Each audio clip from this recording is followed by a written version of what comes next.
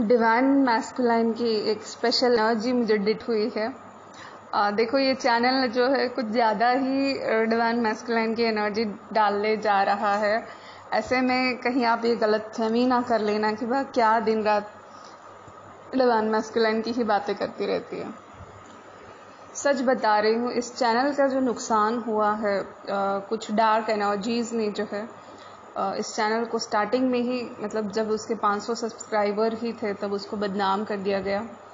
जिसकी वजह से जो है इसके सब्सक्राइबर रोक दिए गए। शायद आज वन मिलियन सब्सक्राइबर हो चुके होते।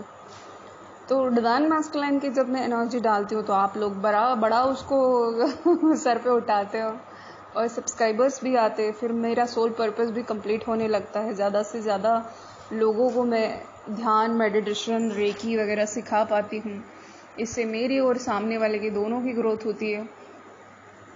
तो इसीलिए मैं जो हूँ करंट एनर्जीज डालती हूँ। मतलब आपने मुझे मजबूर कर दिया है कि मैं करंट एनर्जी डाला करूँ। तो डिवाइन मैस्कुलाइन की स्थिति थोड़ी मतलब कैसी हो गई है मैं बताती हूँ कि रनर फेमिनाइन को देख के रनर फेमिनाइन को देख के जो है वो आ, उनका आत्मविश्वास डगमगा गया है ओके तो एक हेल्पलेस जैसी उनकी मतलब दया आनी जैसी कंडीशन हो गई है। चेहरे का सब नूर ख़त्म हो गया है।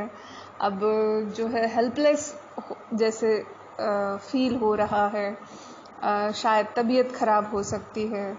कुछ भी मतलब अचानक से बुढ़ापा आ रहा है, ऐसा फील हो सकता है। और ये जो उनकी एनर्जी है, ये डिवाइन फेमिनाइन पर भी मिरर कर रही है ओके मतलब जब वो आपको प्यार सेंड करते हैं लव सेंड करते हो तो आप भी चमकने लगते हो ओके जब उधर कुछ गड़बड़ होने लगती है तो इधर भी थोड़ा कुछ होने लगता है ओके तो ये है एनर्जी तो प्रे कीजिए अपने डीएम के लिए।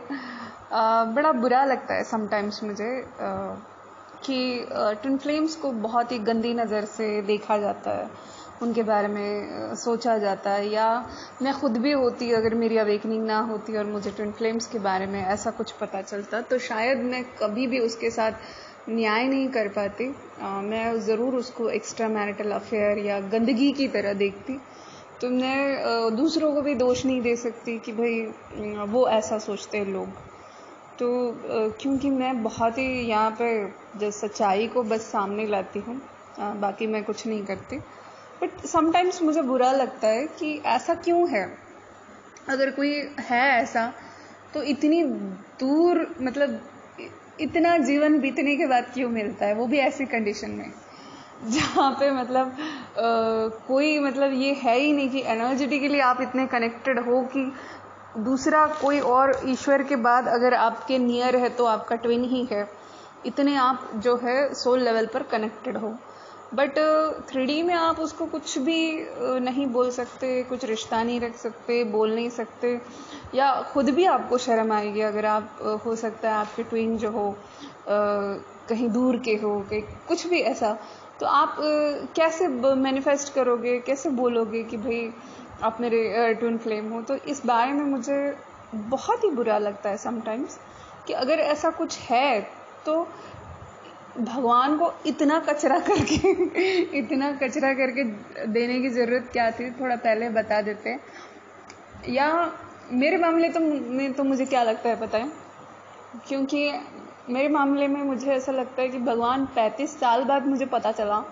तो ना भी पता चलता तो ऐसा क्या फ़र्क पड़ जाता? मतलब जीवन तो पूरा चला गया है। अगर मुझे ना भी पता चलता तो क्या फ़र्क पड़ जाता? बताना था तो थोड़ा जल्दी तो बताना था, नहीं तो बताना ही नहीं था, ऐसा भी क्या फ़र्क पड़ जाता? तो ऐसा मुझे लगता है। ओके दोस्तों थैंक यू